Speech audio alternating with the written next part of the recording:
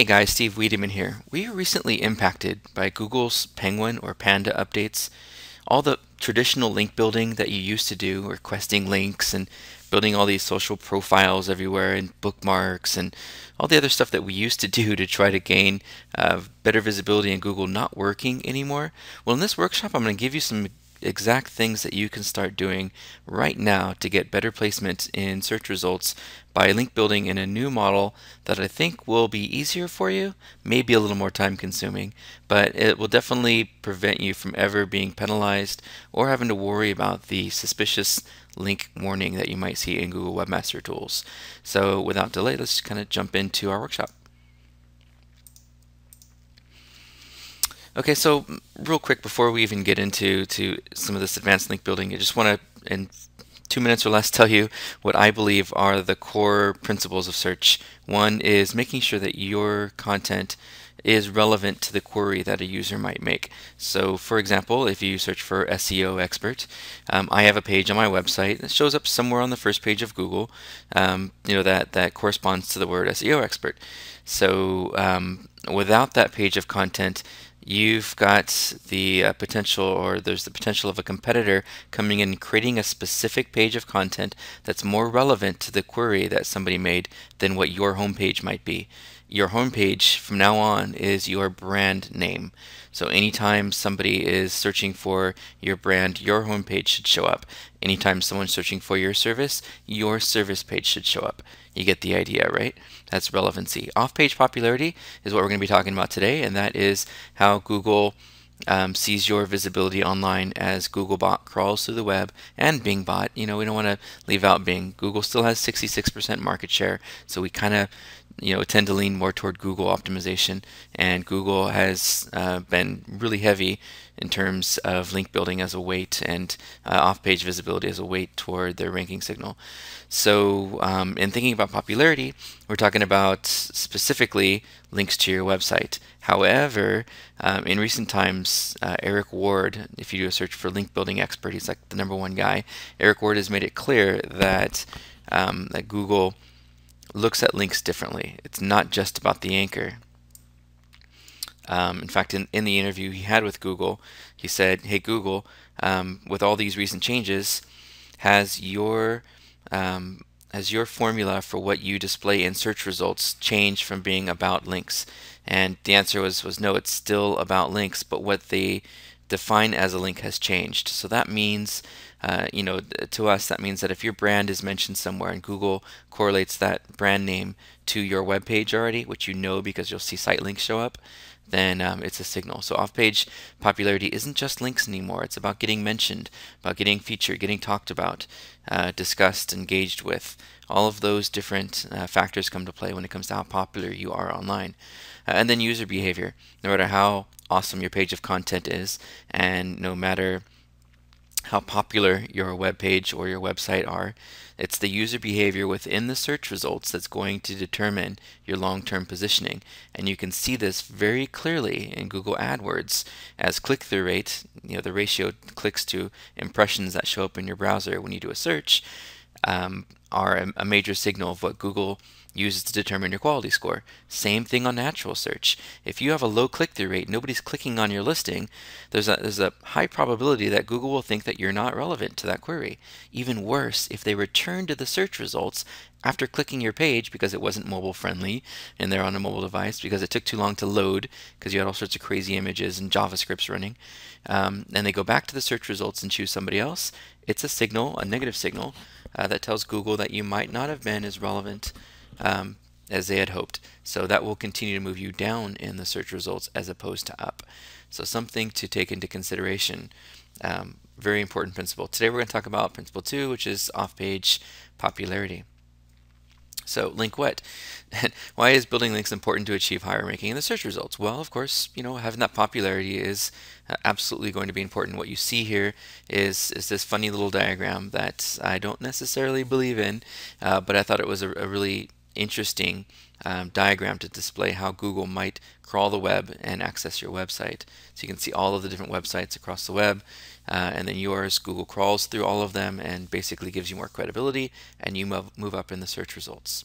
It's sort of like building roads to your um, desert, um, you know, um, desert holiday inn or something. You know, if you've got something out in the middle of nowhere and you've got this oasis, you know, building roads to it uh, will definitely get people to uh, to come.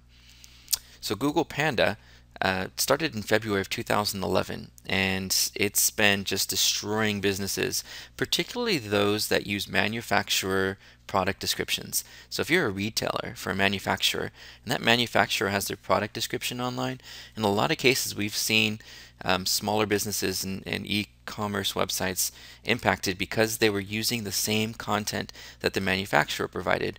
Well, Google usually only gives um, higher placement to the content originator.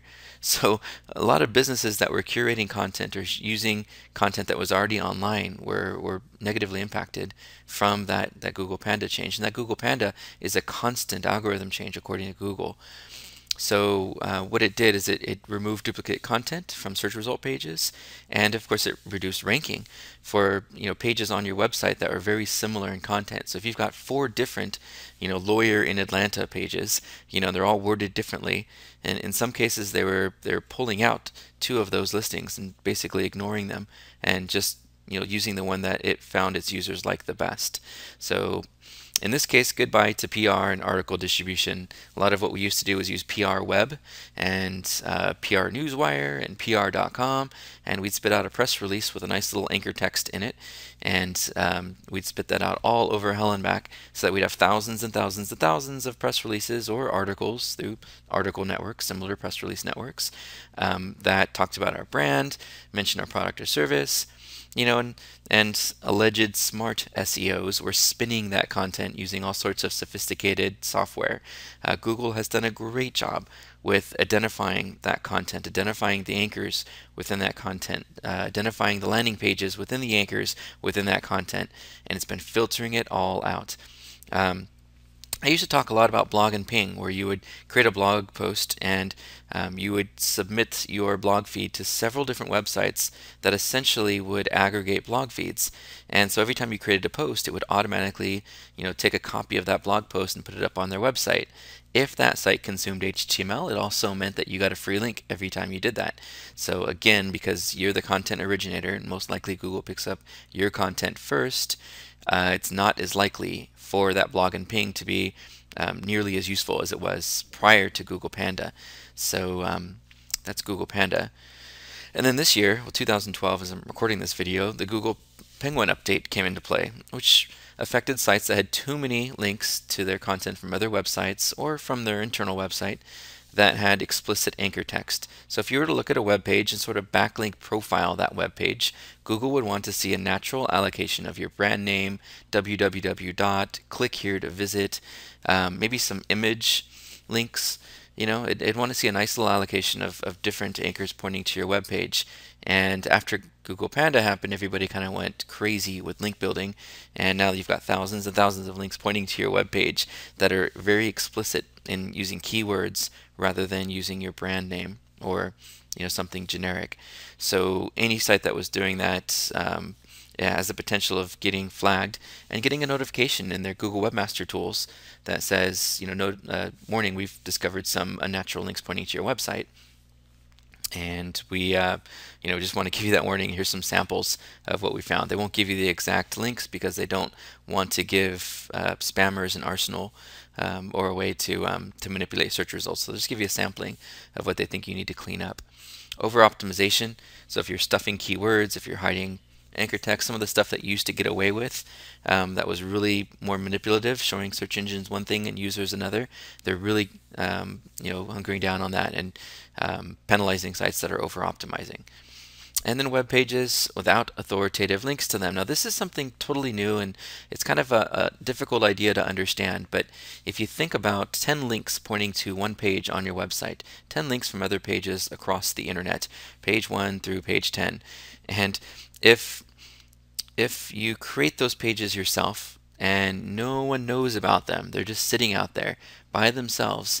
There's a very small likelihood that Google would ever even hit those pages, let alone catalog them and, and record them as a vote uh, to your website to move you up in rank.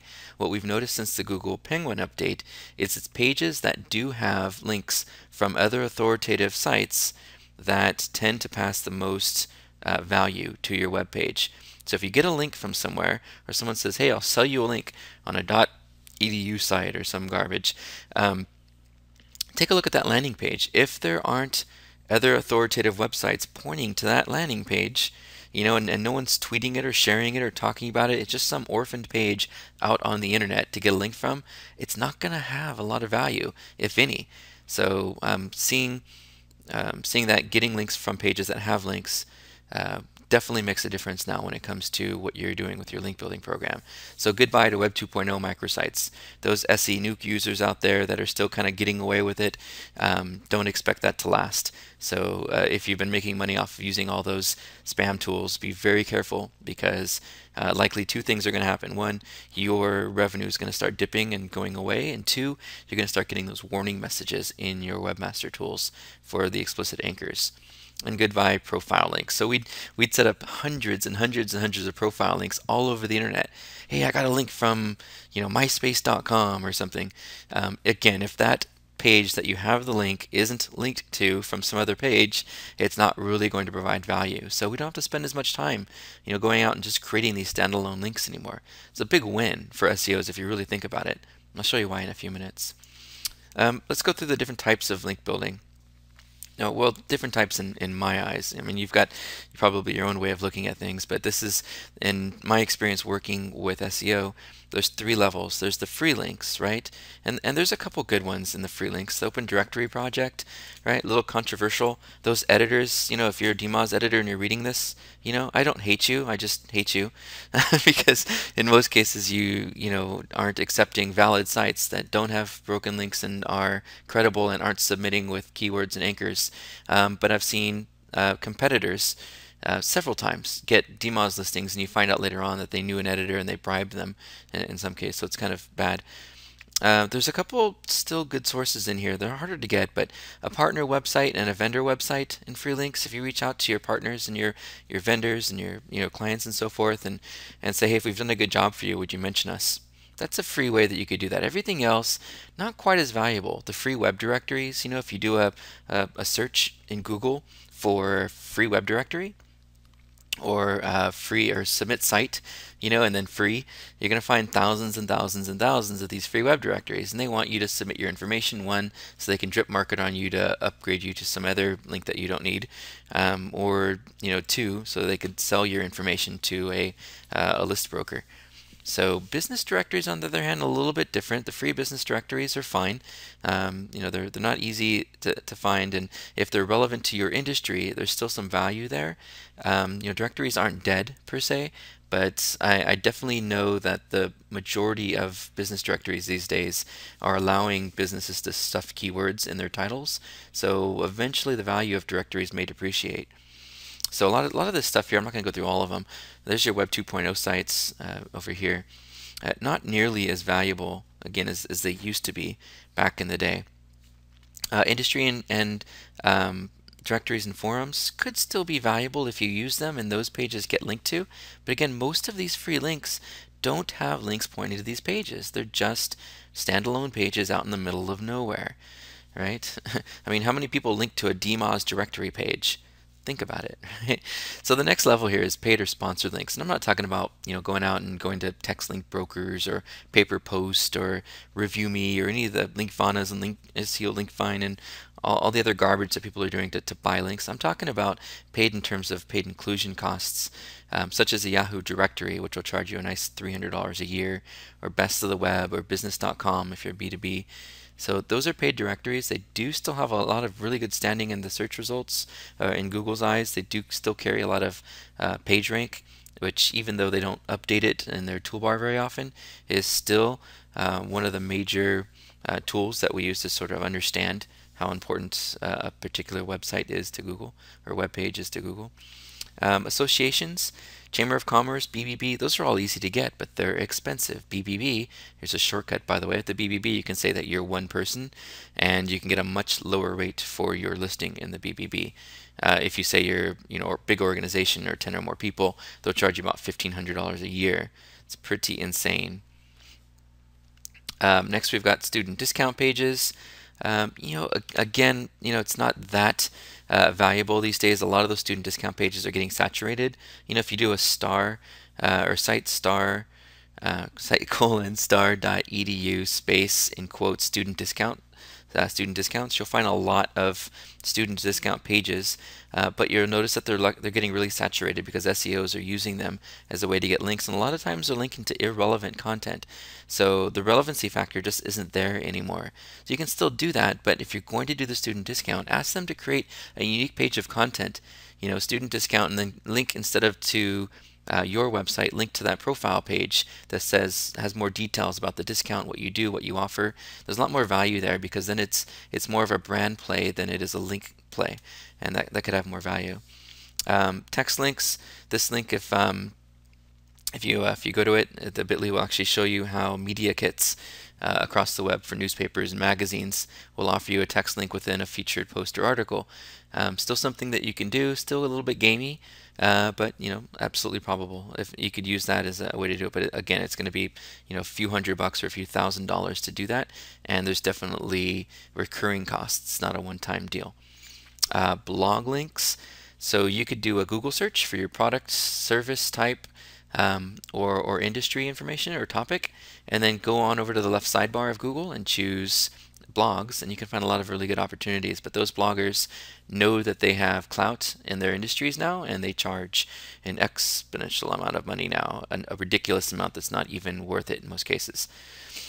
Um, other things that you can you can do here. This is sort of tier two. Tier three gets into more of the um, higher end stuff. And you can see my sarcasm here, right? Bribe a DMOZ editor, bribe a news publisher, bribe a news editor, pay for premium PR, four or five thousand dollars a month for a PR agency, by the way. And they all know what SEO is, and they know exactly what you want, and they're going to string you along for three or four months. And if you're lucky, you might even get a feature somewhere in some small local publication because it is a war out there, and everybody wants links. Screw the article, screw the PR. We want the link I guarantee you that's what every business is thinking right now. Uh, industry destination feature. I'm in the tech world, so Mashable, TechCrunch, uh, Lifehacker, you know, those are all sites that, that I use that would be uh, a good source for a feature. I've got a few features in like Wordtracker and some other places, uh, just by you know uh, providing content and um, you know being a, a guest blogger news. You can pay for premium sponsorship. You can donate to a big charity. Um, you know, you can you can also go to some of the .orgs that are out there and donate uh, a significant amount of money. If you do a significant amount of money, they'll give you a full page write up. So all of these things have um, you know in, really high costs, and you don't really want to spend a lot of money on it uh, because long term, as Google shifts and changes its algorithm, you might find out later that hey, all that stuff I did was for nothing. Uh, I have some other jokes in here, like trading your home to the Wall Street Journal to get a link, lose your dignity for a reality show, or sell your soul to Google. So those are all different ways that um, that you could use that third level, the really high-end, most valuable links that you can get. So I'm going to show you in a few minutes how you can still get uh, publisher, editor, um, you know, magazine, newspaper, and and authoritative links without having to pay all this money. It, it's going to be a pretty neat uh, exercise for you and sort of change your mind about what you're doing with your link building. Uh, I'm going to start with eight powerful link building strategies. I'm not going to roll through them all right now, but we'll, we'll go through each page individually. It talks about it. And, and these will definitely make a difference. If you can do, there's eight of these, so if you can do one of these per month, then you're doing a great job. You know, you're doing a lot better than not doing anything at all, or worse, doing the spammy column one stuff that doesn't really have value. Starting one, let's start with the first one. Be found where competitors are. This is the easiest thing that, that you can do. Simply use these tools, Open Site Explorer, Ahrefs, Majestic SEO. Watch this video, and it'll take you through um, how you can find out where competitors are getting their links. Uh, grab like 10 of them, run a pivot table, and find out what the frequency is. Find the pages that are linking to the most of your competitors because likely that's going to be the, the easiest list to get on. In other words, if you're a shoe store, right, list of shoe stores. If you um, if you do something uh, custom, you'll find the the sites that um, that will list places to do custom whatever it is that you offer and you'll find a lot of your competitors listed there and get yourself featured as well. Don't worry about the anchor text anymore. Post penguin you know the only thing that you should really be concerned about is getting on pages that are relevant to your topic you know and pages that are linked to from uh, other websites. So look at where your competitors are at run those pivot tables find out the frequencies and make sure that you're there. This sort of addresses google's new semantic um, you know knowledge um, graph that they're trying to create. So just try to get where try to get where competitors are. Number two, joint content contribution. So anywhere online where you see people in your industry contributing to studies, surveys, get on those lists. Talk to those guys.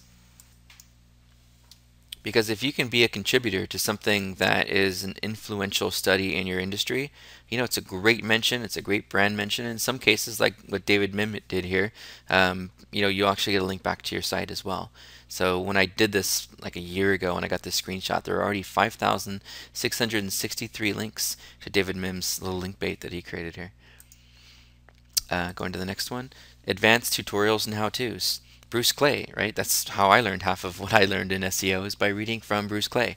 Uh, he's got this tech tips page that was like my homepage while I was doing search about how to do all sorts of unique um, on-page SEO techniques.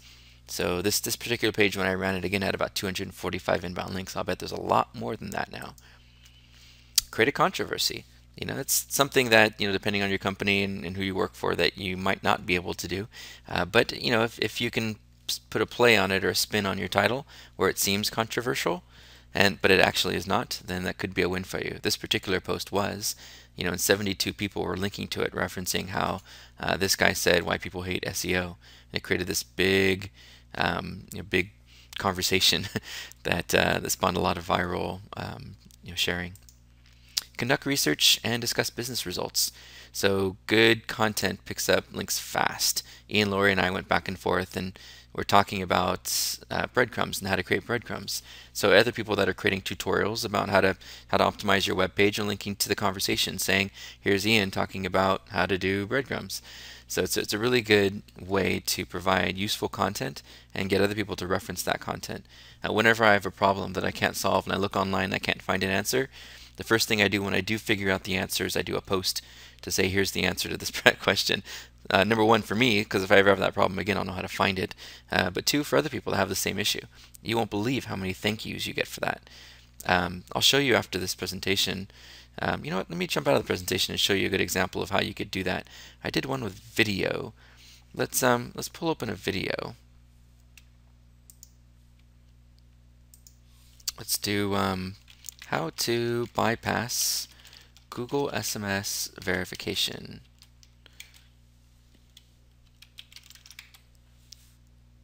And right there at the top, because I could not figure out for the life of me uh, as an agency how I can provision Google accounts for my clients when it kept requiring SMS verification. So I created a video on how to do it. And sure enough, 27,000 views later, um, you know, it was a useful thing. And a lot of people were thanking me. Hey, thanks a lot. Really appreciate this. This really helped me so it's, it's a really good way to provide content. What I should have done though is put it on a landing page on my website as opposed to just slapping the video up on YouTube right away. But it gives you a good example of how finding a problem and creating the solution and making the solution really easy. Use the same query that you used when you couldn't find it and, uh, and you'll be in good shape. Let's go back. Six, establish yourself as an authority. WebPro News does this by interviewing different experts in technology and, and internet marketing. And every time they do a post, somebody links to it, references it, shares it, likes it, tweets it. Uh, it becomes a popular piece of content. So the, the more you can you can establish um, yourself as an authority through news and through those type of updates, the more links you're going to build back to your website. Create a free tool or plugin. I do free ebooks. People like the free ebooks. You can do free white papers, but kind of boring. No one's real excited about the word white paper. Uh, ebook's kind of a neat way to do it. There's free guides, um, top 10 tips to do something. uh, whatever you decide to come up with as a free tool or plugin, it could be a, a really big win for you. Xenu Link Sleuth here is one of these tools that I've used for years and years and years and years. And uh, last time I checked, it was over 20,000 inbound links. Tools that you can use to help with your SEO, and everyone would point right to Xenu Link Sleuth. So kind of a neat way to generate links. Recognition in interviews, another old screenshot showing how I did a, a little webinar and I uh, talked about how great the software was. And um, in that uh, in that whole uh, post, you know, I'd mentioned um, the software specifically, Instant Presenter, and sure enough, after I had done that post back in 2010, they actually linked back to the website and they gave some recognition to it. So real big win for um, uh, you know for us in mentioning somebody. doing doing recognition is a huge way uh, to get some real serious clout and some other recognition. Let's jump out to the presentation one more time and give you another recent example. Let's go out to Twitter and let's take a look at my recent Twitter status and I'll show you some examples where I've given recognition to people and it's made a ton of difference. So let's um, let's see here. Let's see if I can find a really good example for you. Okay, here you go.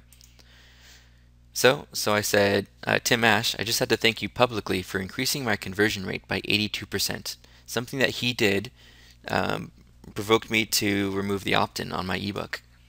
And, of course, I got an 81% increase in conversion rate on a specific keyword page. And I went out to Twitter and I gave him recognition for it.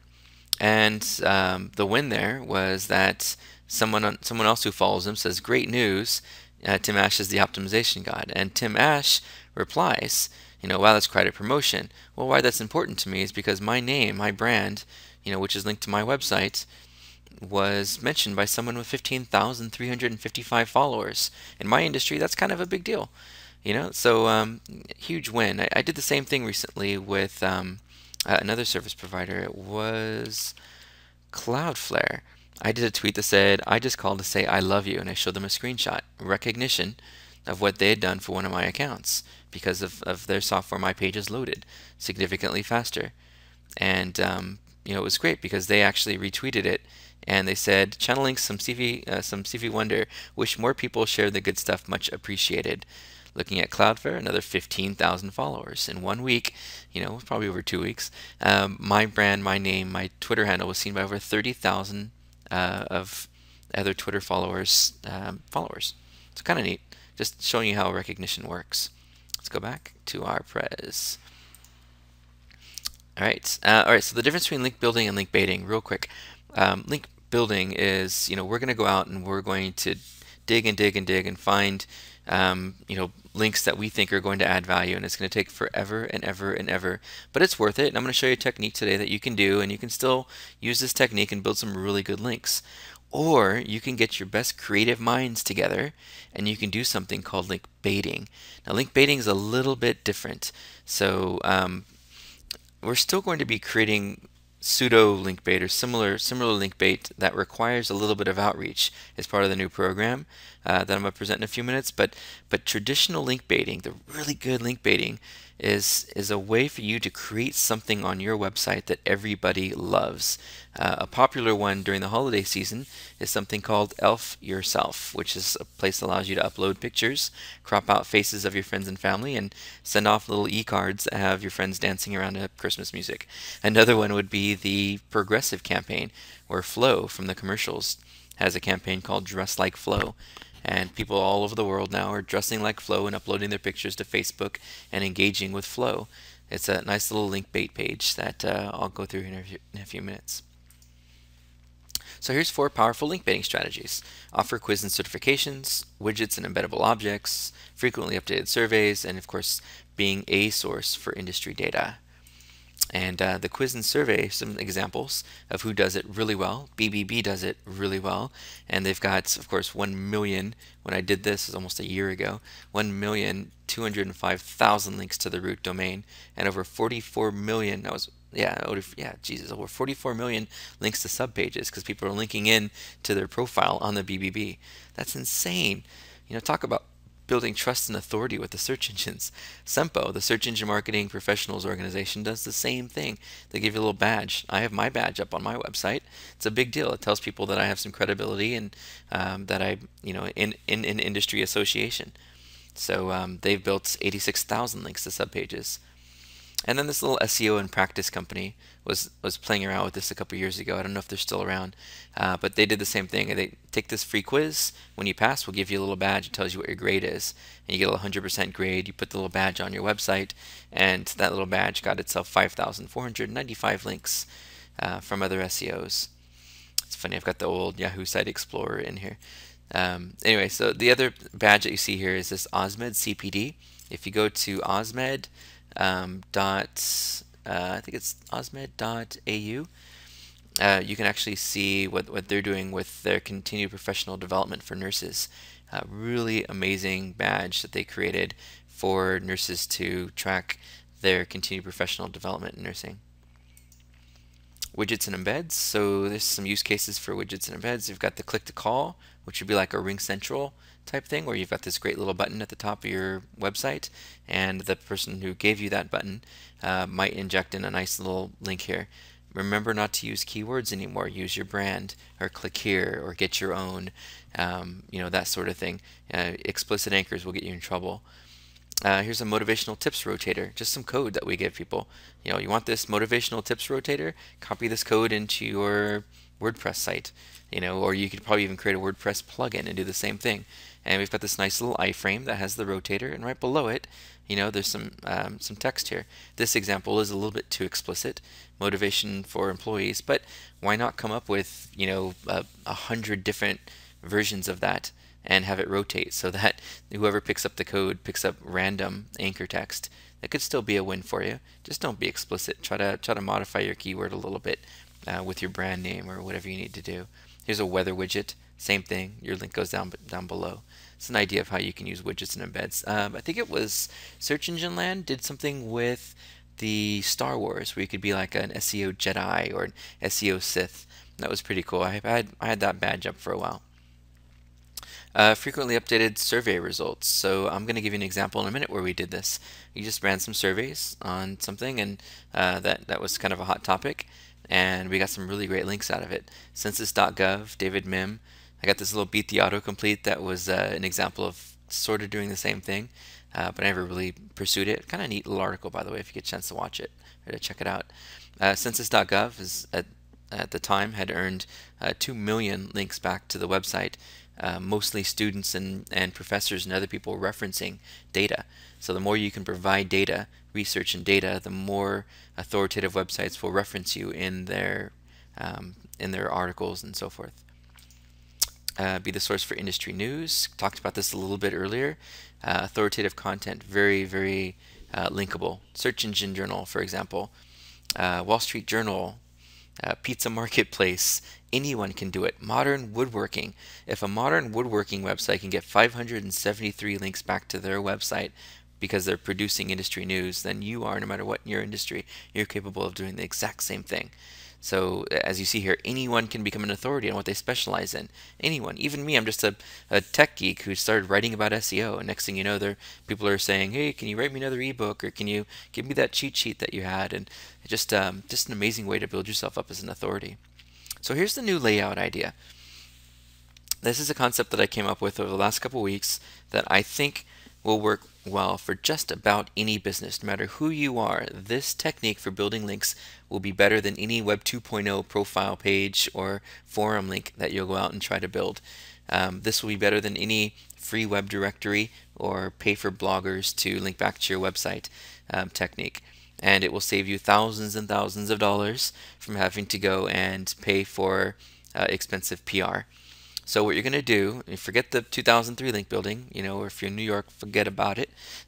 just forget about it. It's just not going to work anymore. And in 2013, what I want you to do is I want you to research hot topics. You know, this is 2012. There's only about a month and a half left of 2012, so I thought I'd, I'd, you know, mention 2013 as as the the plan here. But let's just say it's 2013, 2014. We're going to research extremely hot topics. You can use Google Trends You know, if you don't know what that is, just Google Google Trends and you can find out.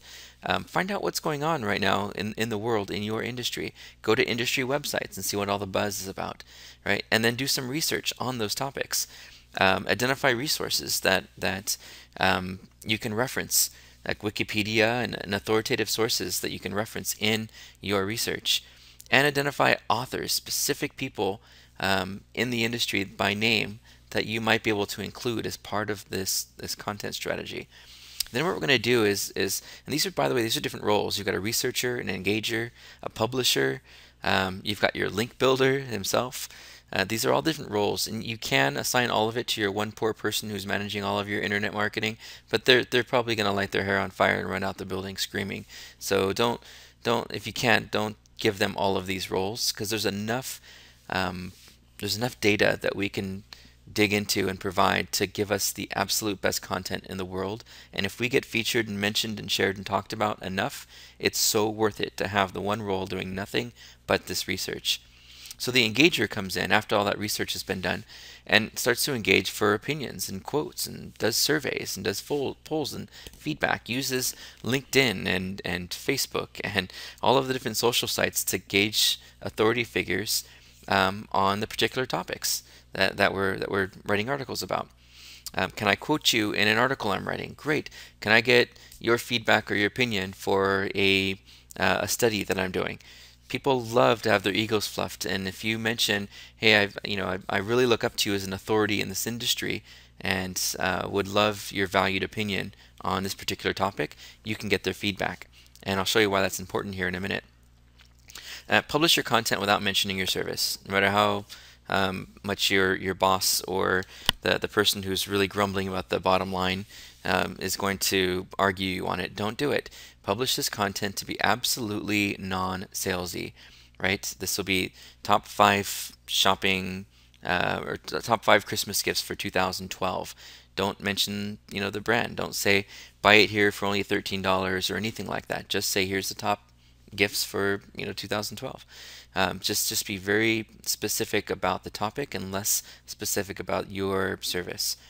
And then the outreach person, right? This is probably one of the only things that you can't really outsource. It's got to be somebody with with some pretty decent um, you know uh, English and, and grammar. You're going to want that person to go out and um, and find the different authoritative sources. Well, the researcher is going to give you a lot of that data as the operator to give you the example, set the date to last 30 days, and then from that, the, the outreach person is going to take that big list, whether you've uploaded it to buzzstream.com or using a Google spreadsheet, however you have to do it, um, make your big list of those sites that you think would mention your article. If it's a .edu site, here's an example, site star.edu, your topic here. Now, there's still a potential, uh, there's still a chance there that, that that page you're getting a link from isn't a very popular page. So do look at using those tools I showed you earlier, Open Site Explorer, Ahrefs. Do look at those to make sure that those are pages that are getting talked about, discussed, and linked to. Otherwise, EDU or not, it's not really going to have much value to you. So that outreach person is going to go out and start communicating with the people that the researcher identified as being really good sources of um, uh, potential linkers. So we'll go out to those linking pages and those authors and say, um, you've got you've written a really awesome article on a topic that we've also written something about. Um, because we talked about something a little bit different or a specific subtopic of what you talked about. Would would you um, would you be interested in adding us as an additional resource or further reading on the article that you wrote? If so, we would we would really appreciate it. And if you don't get a response, you can come back and say, you know, if you know, I know you're really busy. You know, we think we were a great resource for your article. We'd love to send you a special thank you from our office. You know, don't don't so much offer money, but you know, you could send them a gift card or a Starbucks thank you. You know, if if they're willing to take the time to do that, but don't don't tell them what they're getting. Um, just say we'll send you a thank you. Um, it's a great way to do it without without actually bribing somebody. Um, and then have your content used, as you see here, as additional reading, additional references, um, further reading, um, you know, anything that you could think of that, that would be a good play for the particular article that you want to get the link from. And then the next step is to go out to those people that you've uh, you've researched that uh, participated, and you say, "Hey, thank you so much for providing a quote uh, for our recent article that we published. Here's the link to it if you want to share it with your friends and your followers." And it's a really super awesome way to get those people to share your content, uh, particularly because they were featured in it, and hopefully fed their ego a little bit um, and given them some uh, fantastic titles within that content so that they look at that and go, oh, look what this person said about me. I'm important. And then they go out and they um, share that link everywhere they possibly can. So that's the new layout idea. And I think I think if you do this, and it's a Monday through Friday thing, Monday you research, um, you know, Tuesday you, you start engaging for, for more uh, feedback and, and information and, and insights. Um, you know, Wednesday you get that, that piece of content done you know, or mostly done. Thursday morning, you publish it and you go out and you start telling all of these other authoritative websites about that content that you created with links to authoritative resources, etc. Um, and then Friday, you just continue to build links and build links and build links uh, by engaging with people who've written topics where we would be a good reference. Um, next, so here it is in action. Here's the link bait. Here's the link that we earned from a, a .edu domain, uh, talking about the port on the iPhone 5. Really long um, post that we did with a video and with some other cool stuff in there that we thought would be useful to the readers. We mentioned some authors. Uh, we mentioned Pete Cunningham and Farhad Manjoo. And then we also linked to additional references. So if you wanted to do further reading in this own article, you know, we linked to um, authoritative content. And of course, at the bottom, we put a little link to take our survey yourself if you're reading the article and you want to participate in the survey, and then a tally of the last uh, survey results. So, really amazing con content. You've got uh, lots of great references, resources. You've featured several experts, and you've given a way for the user to engage with that content. And that, my friends, is the Neo link building strategy that I've been talking about on uh, on Twitter and uh, to all the people who've been to my workshops lately. Give this a try. Have me take a look at your content. Uh, go to my Facebook page. You know, just facebook.com slash Steve Wiideman. Go to my Facebook page and put in your content article that you did. You do the research you know Monday and Tuesday and the engaging on on Tuesday and maybe into Wednesday. Wednesday you do the content. Uh, Thursday morning you launch it and you start that requesting um, you know authoritative sites linked to. Let me let me take a look at it. Get get through your content. Put the URL to it in my Facebook page, and I'll I'll give you my feedback on what I think you could improve. Notice in that content I didn't say anything about keywords. Don't don't worry so much about keywords. If it's something that's relevant to your industry and you get other related industry or, or authoritative content pointing to your website anywhere to your website, uh, Google's going to recognize that. It's going to crawl through that authoritative link. It's going to crawl through your global navigation and it's going to move up every single page on your website respectively as you start to gain visibility online. Your, your keyword pages are part of your natural search, not something we went through in today's workshop, but they're part of your natural search and they're a big uh, component uh, of what you're doing with your overall search campaign. So um, just just keep that in mind that you're building links to try to build your authority. You're building mentions to build your authority. And the more you do this, the more you think about um, you know trying to build your authority in the industry and getting visibility, and thinking less about keywords when it comes to off-page SEO uh, the safe safer you're going to be from future Google Panda and penal, uh, uh, Penguin penalties, and uh, the more traffic you're actually going to get from all of those referring sites. So um, anyway, my name is Steve Wiideman. You've just watched 45 minutes of a advanced link building workshop uh, post Google Panda, Google Penguin. If you have any questions whatsoever, please send me a tweet um, at SEO Steve or uh, hit me up on my Facebook page. Uh, I'd be glad to help you. There's also an email address and a phone number here. Um, definitely love to talk to you. Thank you so much for your time, and uh, hopefully, we'll see you on the next workshop.